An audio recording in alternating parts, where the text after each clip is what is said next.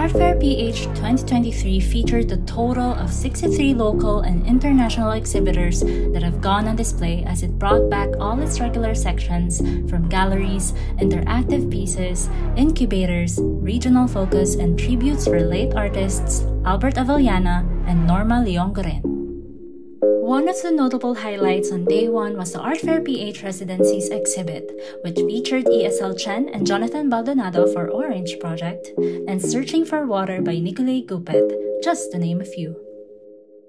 Art Fair PH Digital, co-presented by a known local network provider, has also got special attention this year.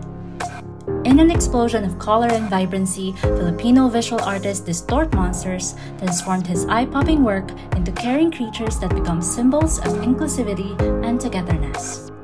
Along with this, all participants were provided with refreshing complimentary drinks.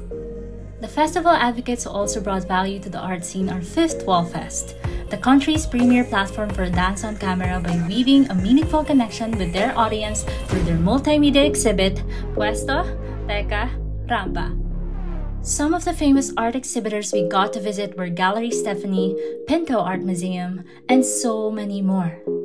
We also attended an interesting Art Fair PH Talks held at the roof deck of the Link, which we will feature next.